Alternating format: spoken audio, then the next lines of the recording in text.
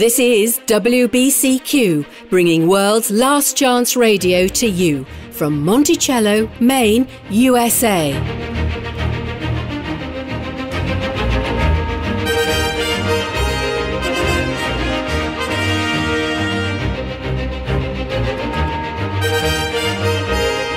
Violent crime, political unrest, financial instability.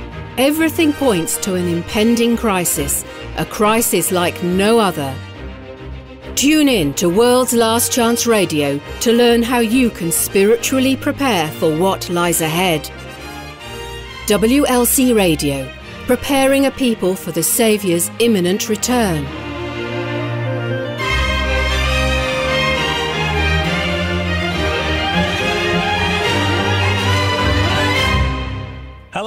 I want to give you a very warm welcome to all our listeners here. I'm your host, Miles Roby. And I'm Dave Wright. We're really glad that you could join us. Now, if this is your first time tuning in, you'll notice quite quickly that we rarely use titles to refer to the Creator. We prefer to use the Father's personal name, Yahweh or Yah, as well as the personal name of the Son, Yahushua. Today, we're going to be talking about faith healing and what it is popularly referred to as being slain in the spirit. Now, it's it's a tricky area to touch on because I do believe there are sincere Christians whose faith have been rewarded and whom Yah has blessed with healing through some of these faith healers. However, the spirit manifested by faith healers and those who claim to be slain in the spirit is not that of the Holy Spirit of Yah. And I think as we get into that, it'll become a lot more clearer. And that is a movement that is not from Yah.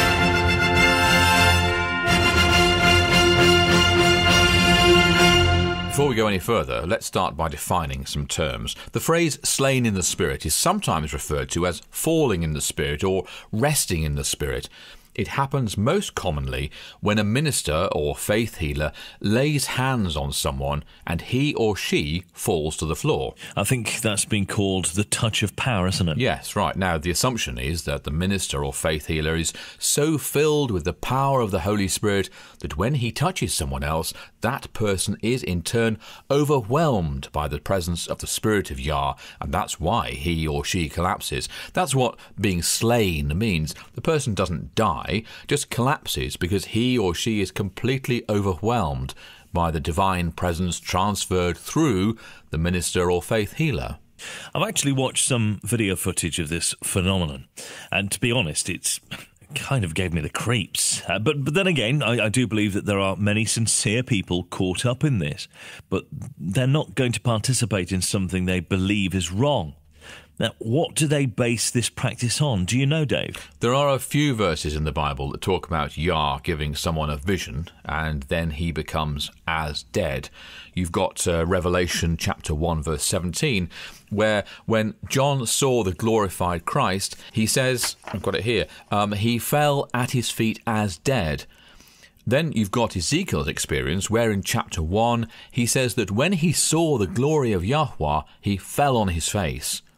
Daniel also, in Daniel 8, he says that he was frightened and fell on his face. His reaction to the vision in Daniel 10 was that no strength was left in him. So, those are the passages on which they base this practice. Because clearly, if John, Ezekiel, and Daniel, as righteous men and prophets, could be overcome with divine glory, we would be too. Mm, I would be as well. Well, yes, and the problem is when you carefully compare Scripture with Scripture, you realize that the modern practice of being slain in the Spirit is actually quite different from what occurs in Bible times. Furthermore, the lives of the various faith healers strongly suggest that the spirit that animates them is not actually from heaven, but from an entirely different source. In his first letter to Timothy, Paul warns about seducing spirits. So would you read it for us, please, Miles? Mm-hmm. It's found in 1 Timothy chapter 4, verse 1. Now the Spirit speaketh expressly, that in the latter times some shall depart from the faith, giving heed to seducing spirits and doctrines of devils. When you carefully consider all the evidence, the charismatic teaching of being slain in the Spirit is one such doctrine of devils. Now, of course, with Yah, as we know, all things are possible. Yeah, absolutely. Uh, I want to be careful here that we don't go so far as to say that no person has ever been healed by going to a faith healer for help, or that no person has ever been overcome by the divine presence to the point of collapsing. The Creator is all powerful. It's perfectly possible he could indeed come upon a person with such force he or she would be overcome. The problem is not whether or not Yahweh can do this, but whether such a belief is biblical because our beliefs influence our practices. And this practice of going to some apparently powerful faith healer and being slain in the spirit has exploded in charismatic circles, and we have to ask ourselves is that biblical? Mm. Well, now, a moment ago, you said that when you carefully compare Scripture with Scripture, you find that this is not of Yah. Could you give us an example of that? Well, let's use an example that charismatic Christians use to defend their practice. It's found in Second Chronicles, and it describes a dedication in Solomon's temple. Now, maybe you could read it for us. It's Second Chronicles chapter five, and it's verses thirteen to fourteen. It came even to pass, as the trumpeters and singers were as one, to make one sound to be heard in praising and thanking Yahweh and when they lifted up their voice with the trumpets and cymbals and instruments of music, and praised Yahweh, saying, For he is good, for his mercy endureth for ever. That then the house was filled with a cloud, even the house of Yah. So that the priests could not stand to minister by reason of the cloud, for the glory of Yahweh had filled the house of Yah. Notice there is not a single instance in what you just read that describes someone collapsing under the power of Yah or mm. even any healing taking place. No, just the opposite. Well, yes, and, and you'd think that if ever there was a time for the power of Yah to be demonstrated in healing his faithful followers, it would be at such a time, right? Mm, right, yeah. Well, in fact, it's just the opposite. Looking a few verses earlier, just, just there a few moments ago, verse 11, it says, All the priests that were present were sanctified. Now, that's significant because it was against the Levitical code for any man not in perfect health to serve before Yahweh. So, of course, none of the priests present would have been seeking healing. Or they would not have been there, yeah, good point. Another example from Scripture that charismatics point to in defense of their belief is the story of Yahushua's arrest in the Garden of Gethsemane. Ah, yeah, that's right. Just just give me a second to look that up here because um, it's in John 17, I think. It's no, no, no, one second. No, it's John John 18. Yeah. John 18, uh, verses 5 to 6. Uh, Yahushua had just asked, Who are you looking for? They answered him, Yahushua of Nazareth. Yahushua saith unto them, I am he. And Judas also, which betrayed him, stood with them. As soon then as he had said unto them, I am he, they went backward and fell to the ground. Now, another passage is the story of the conversion of Saul of Tarsus, recorded in Acts 9. Okay. So, why don't you read that one for us next, yep. please? Sure. Okay, that's verses 3 to 4, and it says, and as he journeyed, he came near Damascus, and suddenly there shined round about him a light from heaven. And he fell to the earth, and heard a voice saying unto him, Saul, Saul, why persecutest thou me? Yeah, and, and I can see why they quote these verses. Sure, but Neither the wicked collapsing at Yahushua's arrest nor the collapse of Saul can be used to support the modern belief of falling in the spirit because, as you pointed out earlier, those who approach the various faith healers are typically very sincere hearted believers whose hearts, to the best of their knowledge, are right with Yah. Hmm, that's true. And of course, they would have done some heart searching before even going up to the healer because obviously they seek Yah's blessing. Now, as mentioned earlier, there are a few instances in Scripture where a man of Yah was overcome by heavenly grandeur, glory, divine power. Mm. There is a notable difference between these descriptions and what happens when a person is slain in the Spirit today. And what's that? Well, You've seen the video footage of such occasions, you said. Mm, right, and there's quite a few on YouTube that you can watch as well. Well, I'm going to read a couple of verses, and you tell me if you can see the difference. Okay, right, this should be interesting. Daniel chapter 10, verses 9 to 10 states, quote, Yet heard I the voice of his words, and when I heard the voice of his words, then was I in a deep sleep on my face, and my face toward the ground. And behold, an hand touched me, which set me upon my knees and upon the palms of my hands. Hmm. And the next? Revelation chapter 1, verse 17. We mentioned it earlier. It says, And when I saw him, I fell at his feet as dead. And he laid his right hand upon me, saying unto me, Fear not, I am the first and the last. Uh, I spot the difference. I'm I'm not really sure what we're looking for, but but one difference I can tell right off is that in modern times people go straight over backwards. In fact, they usually have a couple of big, burly guys back there to catch the person going over backwards. Exactly right. In Scripture, when a person was overcome by the power and the sheer glory of the divine presence, the direction in which they fell was always forward onto their faces in an act of worship. Mm. They never collapsed at anything but the divine presence. Not the divine presence in another human being, but the actual presence of the Father or the Son. That's all. Right. And we're never supposed to collapse in worship at the foot of even the holiest of created beings. See, I remember a couple of times in Revelation, uh, John did that. And in Revelation 19, verse 10, as well as chapter 22, verse 9, and each time the angel immediately corrected him and told him to stop. See, thou do it not, for I mm. am thy fellow servant, and of thy brethren the prophets, and of them which keep the sayings of the book, worship Yah. Right, yeah, yeah, that's, that's the one. You, you see, the angel immediately deflected all obeisance to Yahweh. You certainly don't see any of these faith healers telling people to just, you know, snap out of it. And it's completely different today. When Daniel collapsed, the angel immediately reached out to strengthen him. John, too, was immediately strengthened when he was overcome by the power of Yah.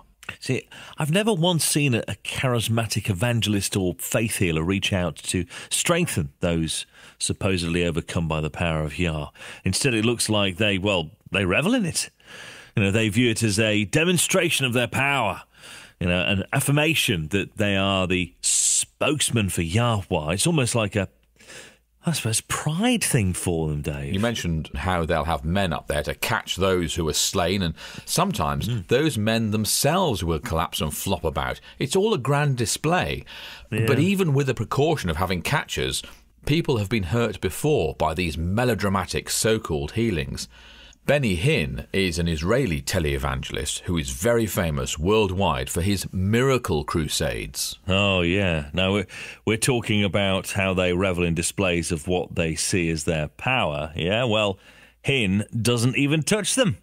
He almost makes a joke of it as well. He'll strip off his suit jacket and wave it at them, and they'll all fall down, and they'll even blow at them. And it's it's it's so undignified, it really is, and not, not all that in keeping with the meek and lowly one that is Scripture's description of Yahushua. Well, on September the 23rd, 1986, a woman by the name of Ella Peppard died after receiving injuries at one of his revivals. No, seriously?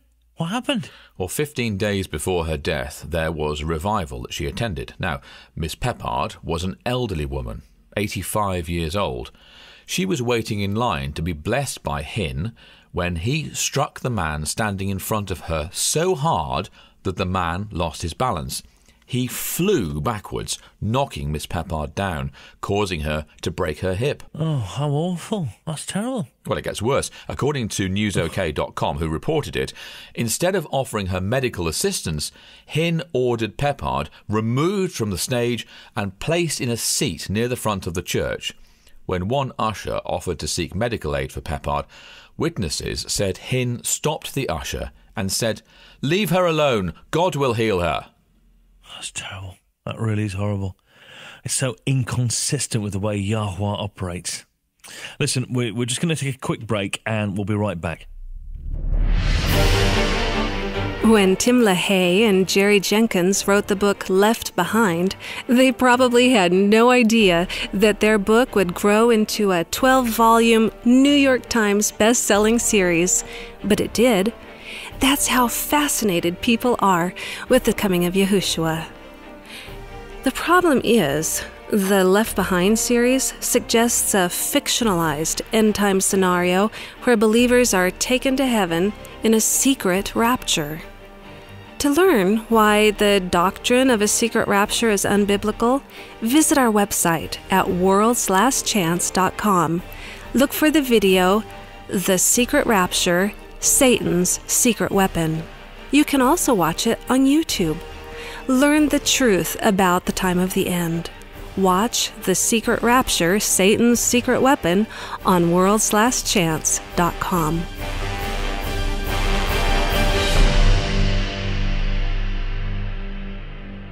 I was just thinking about the melodrama that accompanies all of these faith healing services, and yet this sort of thing has been around for a long time. In in 1851, Charles Hodges writes, quote, "There is nothing in the Bible to lead us to regard these bodily affections as the legitimate effects of religious feelings." No such results followed the preaching of Christ or his apostles. We hear of no general outcries, faintings, convulsions, or ravings in the assemblies which they addressed. It is evident that loud outcries and convulsions are inconsistent with these things, and therefore ought to be discouraged. They cannot be from Yah, for he is not the author of confusion. That's an excellent point there. Very. Robert Liichow was once himself involved in this movement. Now, though, he warns people against it. He asks a really good question. He says, quote, If God is knocking people down, why do we need to catch them? Oh, that's a very good point. Liichow goes on to say, they explain this manifestation as being directly caused by the power and presence of the Holy Spirit. If this is so, is he not mighty enough to see to it that those he sovereignly knocks down are unhurt by his blessing? These churches employ catches because one, they know people fake falling many times, it is a programmed response. Two, they lack faith in their own stated beliefs. Obviously, God is not big enough to safeguard his people. And they are most excellent points. Well done. And there's more. And he says, Oh. quote, Also, along with the catchers, we had sisters who came along beside or behind the catchers with large sheets of material. Their ministry was to place these sheets over the women's legs and bodies. Why? Because many times when women would be slain in the spirit, they would fall in very immodest positions. Hmm. We had events where, when some unfortunate woman fell, their dresses would be hiked up their bodies quite a bit and their legs would be splayed out at inappropriate angles. When the Lord chose to embarrass his daughters in this manner, we had to be there quickly to cover up their shame. Does this really sound like something Yahweh Elohim would do to his daughters? No, no, it really doesn't. In John chapter 8, Yahushua promised, Ye shall know the truth, and the truth shall make you free. More and more people who were once actively involved in this movement have broken free of the deception and come out against it. They're now warning others to beware. Mark Haville is one such person. When asked what got him out of it, Haville replied that he simply read the scriptures. Yeah, and, and the word of Yah is a lamp to our feet and a light to our path. If we'll just pay attention to what it says. And Mike Wright is someone else who no longer believes the Bible supports this practice.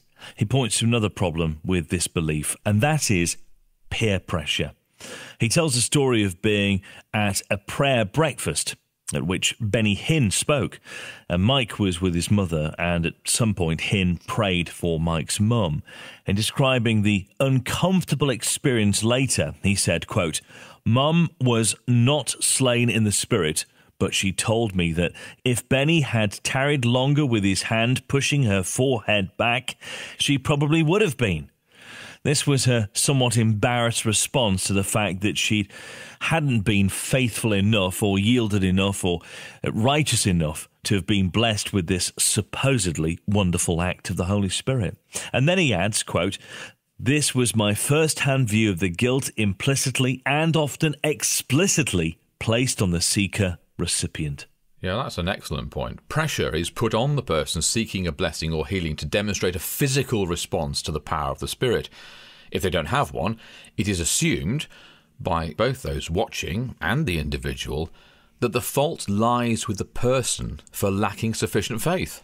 Mm, and it's peer pressure brought to bear in the spiritual realm. And Wright concluded his observations by saying this quote, I could relay over 30 years worth of stories to you and the conclusion of them all is that we have unknowingly participated in a farce, deceived by people who knew better or who should have known better. Having studied Yah's word on the matter exhaustively now, we clearly denounce the teaching of slain in the spirit Nowhere is the practice found in the Bible, and only on the enemies of Yah did an overwhelming force come to cause them to fall backwards. In every other case that is specified, men who came into the presence of Yahweh fell willingly forwards on their face in humble worship, or they died. Very starkly stated, but very true. And he's right. He is. And remember, such experiences occur in front of crowds of people during evangelistic crusades or whatever. Some mm. are even televised. This really increases the pressure brought to bear to demonstrate that your heart is right with Yahweh. And of course, the way this is demonstrated is by falling down. Down, yeah, absolutely. But but as we said all along, a lot of sincere people get swept up in this. So how does this work, really? Mark Haville, the man mentioned earlier, who studied his mm-hmm. way to truth just by reading the Bible. Yeah, yeah, I remember, yeah. Well, he was asked in an interview just how it all works, and he listed five points that make such faith healings possible. Number one, he said, is that people are suggestible. When a person is in a suggestible state of mind or altered state of consciousness, they're more likely to be influenced by the speaker as well as the reactions of those around them. That's true. You can really see that in some of the YouTube videos that we've been searching through and some of those uh, faith healing crusades. And that's not all. According to Haville, program leaders deliberately select music that corresponds with a person's heart rate. The beat in most praise and worship music aligns really well with the cardiovascular system. So, unbeknownst to them, it gets them almost into a a trance state, would you say? Well, if not that, at least it makes them more susceptible to being influenced. As mm. Points out, entertainers understand the power of a group dynamic. And don't kid yourself, these televangelists are entertainers in a very real sense. Oh, they really are. And this is why comedians and rock stars have opening acts to warm up the crowd. Group dynamics also work in favour of faith healers when the expectation of the thousands of people watching is that you will fall when touched on the forehead. What's going to happen? Most people are going to fall. Absolutely, and having bright lights and television cameras right in your face doesn't help matters either. No, and then of course there's always neuro linguistic programming (NLP) and Ericksonian hypnosis repetitive speech patterns, and even certain tones of voice can help induce impressionable mindsets. Some pastors who've studied NLP even boast of their ability to hypnotize their audience. So it's hypnosis that makes people think they're healed, is that right? Well, that definitely plays a part of it. And for a period of time, their pain may very well appear to be gone. But follow up studies have revealed that the vast majority of those who at first thought they were healed were in fact not. Charles mm. S. Price held a revival in British Columbia, Canada, in which 350 people believed themselves healed. Six months later, a follow up study revealed some very disturbing results. Of the 350 people who had believed themselves healed, 301 were still sick, 39 had actually died, and 5 had gone insane. Only 5 claimed to be still healed. And of course, those who are still sick now felt an added burden of guilt, I suppose, for not having enough faith to maintain their healed state. Most likely they did. It's very sad. And the loving Father is in none of this.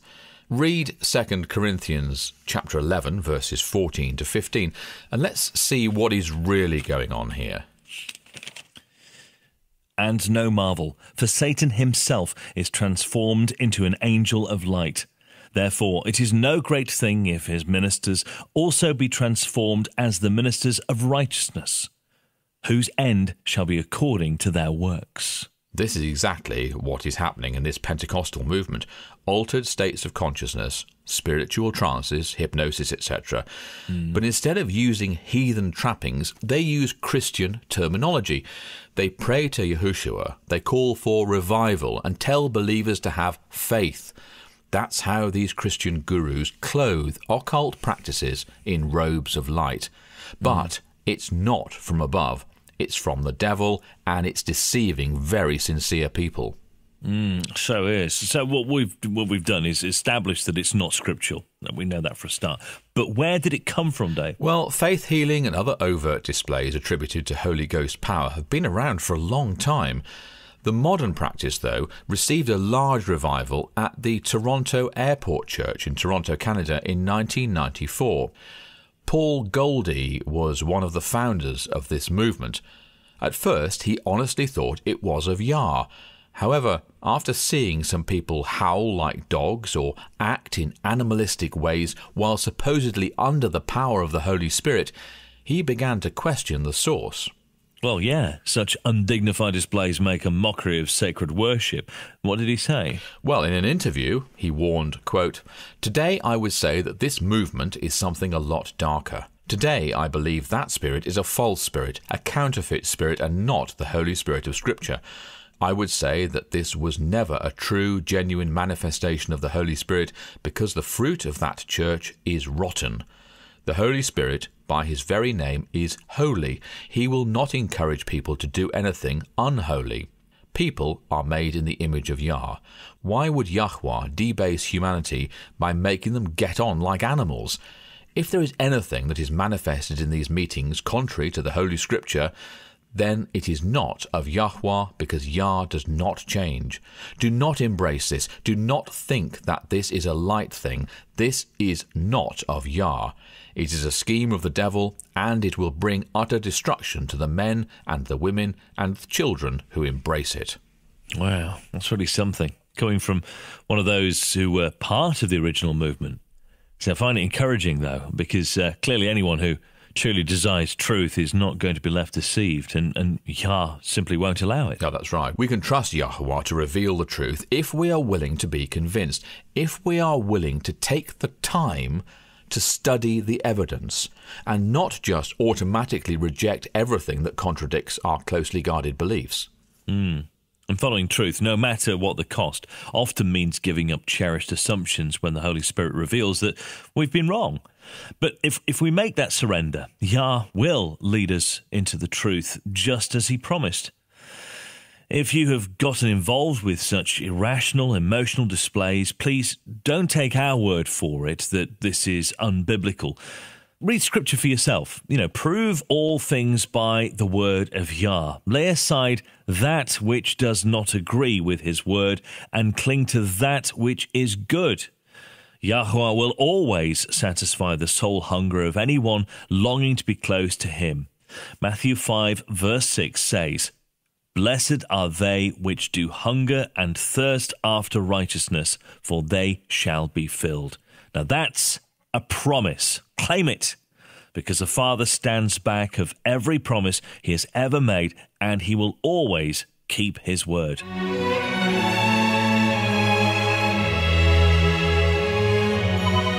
You are listening to World's Last Chance Radio on WBCQ at 9330 kHz on the 31 meter band. World's Last Chance Radio, preparing a people for the Saviour's soon return. In recent years, a surprising teaching has been spreading throughout Christianity. Many sincere believers have begun to question whether the Apostle Paul was a true follower of Yahushua or an apostate. If Paul were an apostate, the ramifications of this are huge. Christian theology is based largely upon the writings of Paul. For a careful analysis of whether Paul was or was not an apostate, look for Paul false prophet, or true apostle on our website at worldslastchance.com. That's Paul, false prophet or true apostle on worldslastchance.com. Time to dive into our daily mailbag where we answer questions from listeners just like you. Right. You've got a full bag today, I can see. Quite a lot seems to have come in. What have you got for us today, Miles?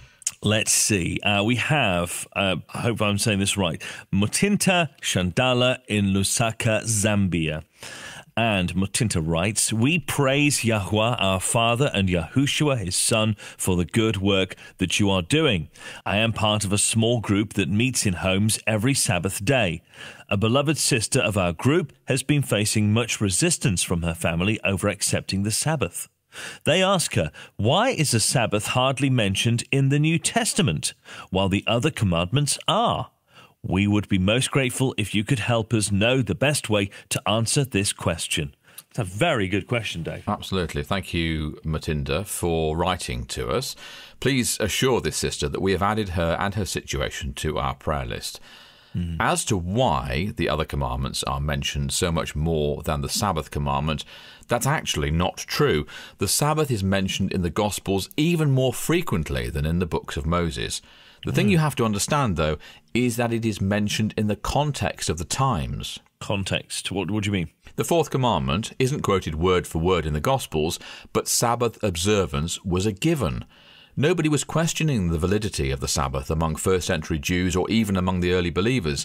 They all worshipped on Sabbath, as demonstrated by the references in Acts to believers going to the synagogue on Sabbaths there wasn't any need to repeat the command to remember the Sabbath day to keep it holy, since everybody already was. Instead, the issue at stake was always how the Sabbath should be kept. That is what all the discussions on the Sabbath focus on. Again, they were already keeping the Sabbath. Otherwise, they would not have cared so much about the particulars of keeping it properly. Yeah, I never thought of that before. But but can can you just give us a couple of examples there? Well, certainly. Take the Gospel of Luke. Every time Yahushua heals someone on his own initiative, it was on the Sabbath. He mm. was taking the opportunity to demonstrate proper Sabbath observance, that it is always appropriate to help those in need. Take a look at Matthew chapter 12. But would you start reading for us from there in verse 10, Miles? Okay.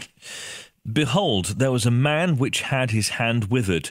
And they asked him, saying, Is it lawful to heal on the Sabbath days, that they might accuse him? That was the whole point. They were trying to accuse the Lord of the Sabbath of breaking the Sabbath. That's quite ironic, though, isn't it? okay. Um, and he said unto them, What man shall there be among you that shall have one sheep, and if it fall into a pit on the Sabbath day, will he not lay hold on it and lift it out? How much then is a man better than a sheep? Wherefore it is lawful to do well on the Sabbath days. The thing we have to understand is that Yahushua was faced with a different concept of the Sabbath during his life on earth. I'm not sure I follow, Dave. Well, the rabbinical observance of the Sabbath was a religious change that accommodated the Roman Empire. Remember, amongst the hot tempered Israelites, the Romans were constantly dealing with rebellions and insurgencies. They feared any Israelite claim to political power that would stir up the already rebellion prone Israelites. So, the Jews focused on the letter of the law and set aside the Son of Man, Yahushua, who was also Lord of the Sabbath. The Pharisees used rabbinical methods to apply the law to all aspects of life, again, focusing on the letter of the law as seen in the outward life while rejecting its influence on the heart. The Sadducees, a class from which the high priest was always selected, had their own method of doing away with the divine law. They limited the law to what it specifically states, denying the spiritual nature of the divine law. So, what you're saying is both groups appeased the Romans and supported the status quo of the Roman rule. They just used different methods. Yeah, exactly right. Yahushua right. opposed both schools of thought, not only in regard to the Sabbath, but in the way they corrupted the divine law as well. He presented himself as the Messiah and refused to accommodate Rome. The Israelite leaders wanted to maintain their positions of influence. It was fear that led the leaders to reject him. It was in addressing their mistaken interpretations of the law and teaching true Sabbath observance that the Saviour repeatedly corrected the Jewish idea of Sabbath keeping, and in doing so, the Sabbath is referred to more times in the Gospels than any of the other commandments. That makes sense, really does. All right. Um, our next question is from Elizabeth Jokela from Lahti in Finland. And she says, Dear WLC, I'm part of a ladies' Bible study group. We've been going through Revelation. We've really enjoyed your articles on prophecy. However, could you please tell us why WLC teaches that the sounding of the seven trumpets of Revelation 8 and 9 has not yet happened? Also, why do you interpret the numbers given in relation to the trumpets literally? I always enjoy getting questions on prophecy. It's a favourite area of mine to study and has been for a long Oh, yeah. time.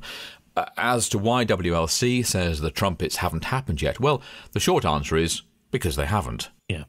And the, lo- the long answer is Okay, the traditional interpretation of the seven trumpets puts them back in history.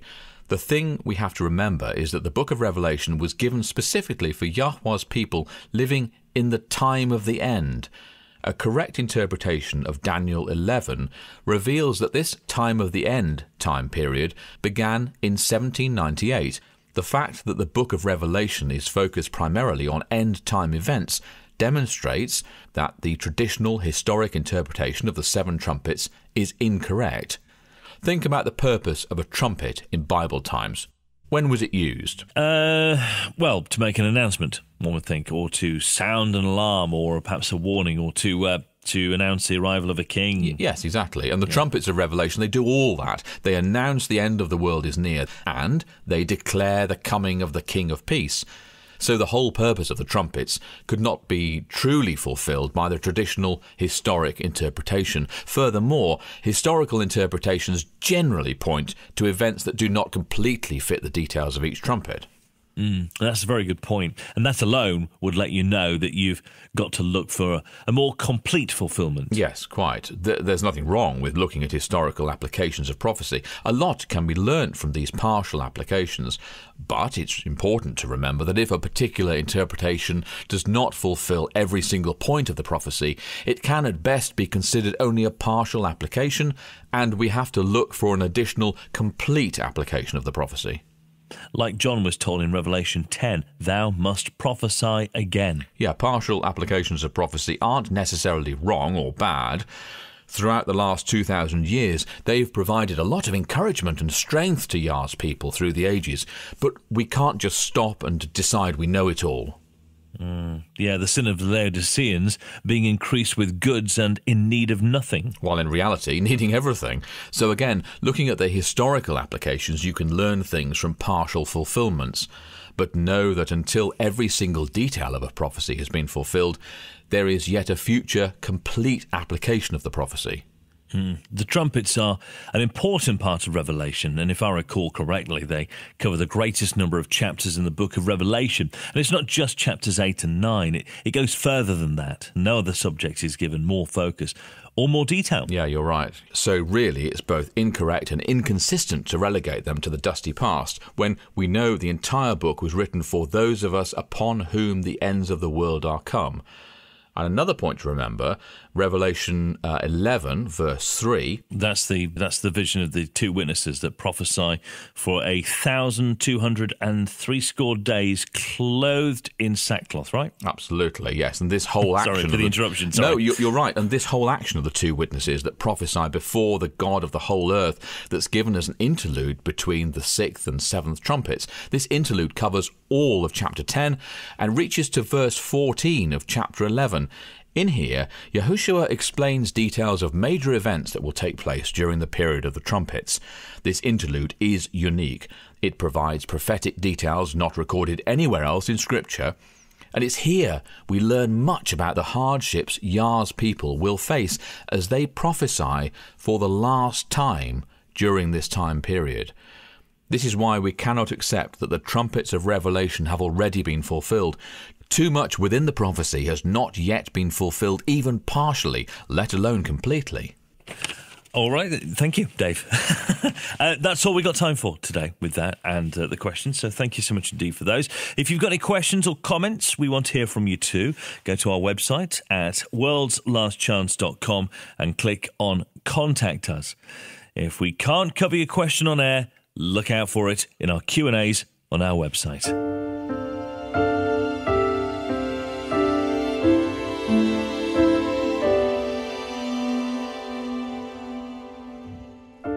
Hello, this is Elise O'Brien with today's Daily Promise from Yah's Word.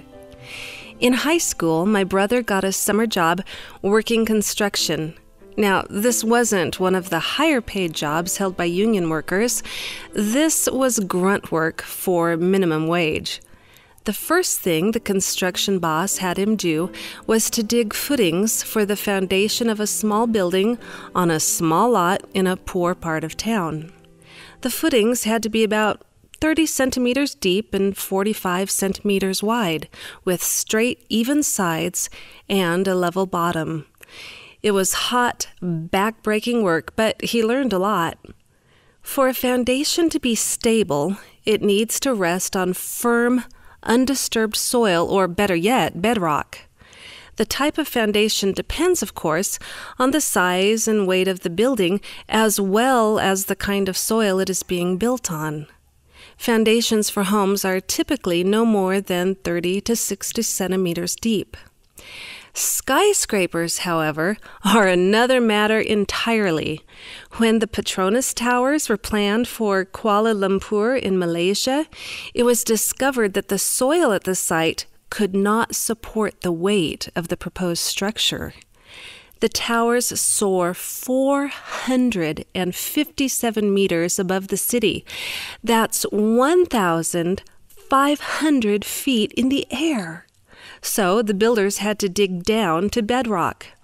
The foundation of steel and concrete went 120 meters into the ground. That's deep.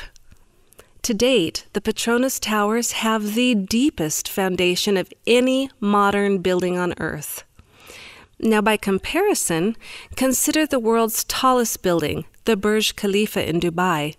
It rises a mind boggling 2,722 feet above the desert. That is over 829 meters tall. Its foundation has nearly a half a million tons of concrete and steel, and yet its foundation reaches only 50 meters into the ground. That is less than half the 120 meters of the Petronas Towers in Kuala Lumpur. Whether you're constructing a building, a business, or a life, the foundation you lay is always of the utmost importance. Isaiah 28 says, Therefore, thus saith the Adonai Yahweh Behold, I lay in Zion for a foundation a stone, a tried stone, a precious cornerstone, a sure foundation. He that believeth shall not make haste. Yahweh's own Son, Yahushua, is the believer's foundation. There is nothing you have ever done, nothing you have ever said that can destroy that sure, solid foundation because it's not based on who you are, but who and what He is the sinless one, the Savior of the world, your older brother and best friend. We've been given great and precious promises. Go and start claiming.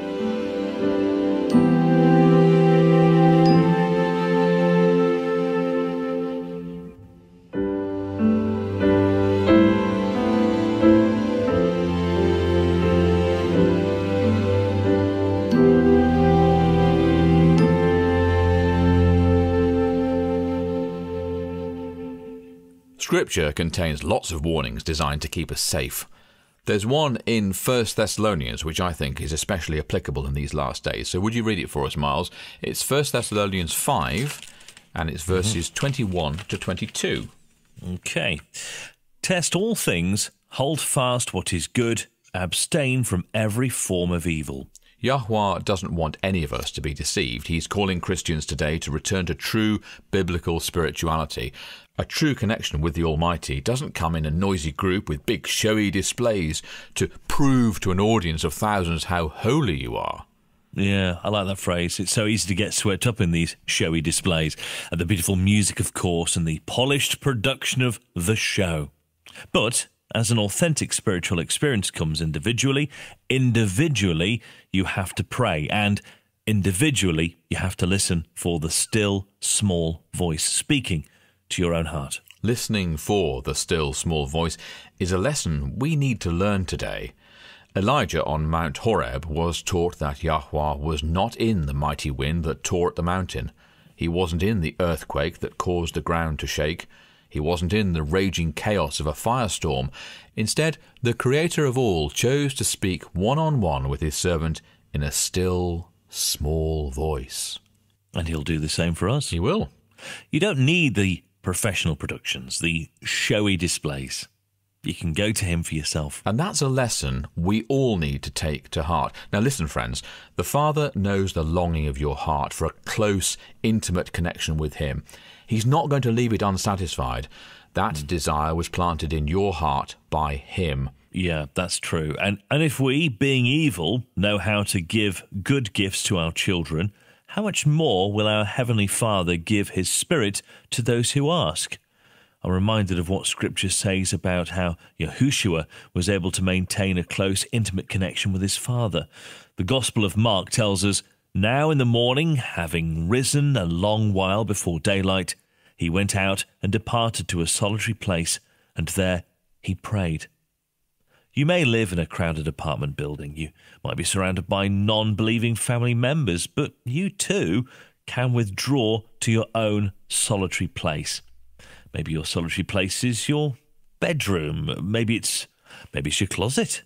Maybe it's a bench in a quiet corner of the park. Yeah, I knew a woman going through a difficult period in her life where her quiet place was her car, parked oh. at the far end of a parking lot.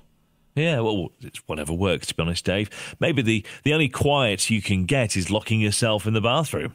Wherever you can carve out a quiet space to focus on and listen to the still small voice, the Father will draw near to you and speak to you personally. And that's a promise. And it's one we need to claim the closer we get to the end. A true personal experience in the deep things of Yah is very different from the artificiality and the melodrama of so much of what passes for spirituality today. The practice of slaying in the spirit relies heavily upon emotional excitement. Yahweh doesn't do that. He appeals to the logic, to reason. In Isaiah, he invites, Come now, let us reason together. Truth is logical. It is always consistent and it appeals to the intellect. It's error that relies on the false force of emotion. It reminds me of a statement actually by Let Us Reason Ministries in talking about the slain in the spirit heresy. They say, quote, by pursuing a blessing, they have abandoned truth in place of a supernatural experience. This is not a biblical experience, but can be a supernatural one. In so doing, they have inadvertently become open to deception by accepting this without any testing. People have succumbed to the oldest charade in their pursuit of a blessing, they have abandoned truth in place of a supernatural experience without ever testing the source for biblical proof. That is very true, yes. Again, divine truth does not rely on emotion, it appeals to the mind.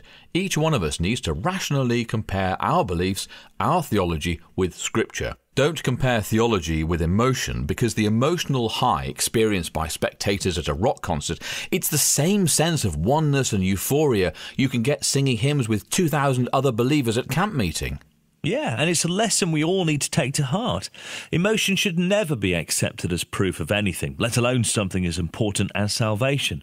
You see, salvation requires uh, repentance and faith in Yahweh, not some ecstatic trance or emotional flight of fancy. Because let me tell you, the devil is an expert at manipulating your emotions. Well, look what he did to Yahushua on the cross. The emotional oh, yeah. feeling of being rejected by the Father was so great that Yahushua cried out, My Eloah, my Eloah, why hast thou forsaken me? He was feeling forsaken of Yah, and before the end, we will too. That's why we have to fill our minds with the promises of Yah's word now. There's no time in an emergency to prepare. When the law says, comply or die, what are you going to do? Will you cling to the word of Yah alone, even when every emotion is screaming at you to submit? In closing, I want to share just one final thought. When you've held certain beliefs for years, when you've been raised to believe that a certain body of doctrines is ultimate truth, it can feel very scary, studying to see if they're true or not. A lot of religious organizations will instill fear in their followers. They'll imply that if you study other ideas, you'll be stepping on enchanted ground and Satan will deceive you. And that's just not true. Satan can never force your will, and Yah wants you to be grounded in your beliefs. But you can't be grounded just listening to someone else. People get favourite preachers they like to listen to because the preachers repeat what they already believe. That's not going to ground you in the truth. The mm. only way to be firmly established is to study Yah's word for yourself, and then His Spirit will settle you into the truth and seal you for eternity. Thanks, Dave. In closing, I just want to share one final promise. It's 2 Timothy chapter 1, verse 12. It says, I know whom I have believed and am persuaded that he is able to keep what I have committed to him until that day. If you will lay aside all your preconceived ideas and commit the keeping of your soul to Yah, he will make sure that you are never led astray. He will teach you and He will make sure that you are safe to save. Join us again tomorrow, and until then, remember Yahweh loves you and He is safe to trust.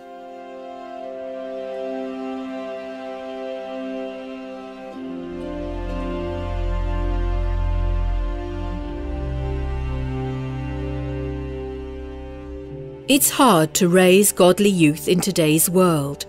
Negative influences come from so many different sources movies, music, peers, and social media.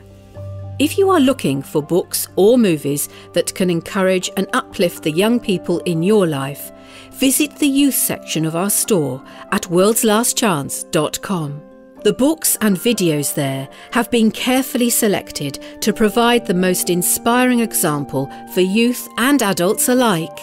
Check it out at worldslastchance.com. Not all items are available in all languages.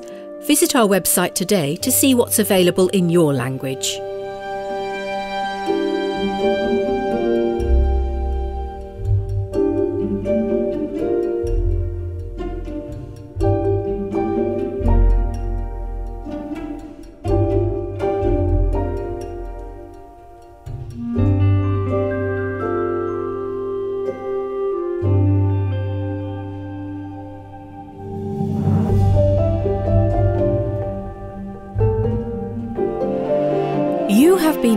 To WLC Radio.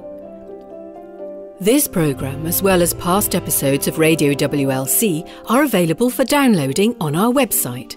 These are great for sharing with friends and Bible studies. It's also a wonderful resource for those worshipping Yahweh alone or at home. If you would like to listen to Radio WLC programmes, visit our website at worldslastchance.com click on the Radio WLC icon at the top right of the homepage. This will allow you to download the episodes in your preferred language. There are also articles and videos available in a variety of languages.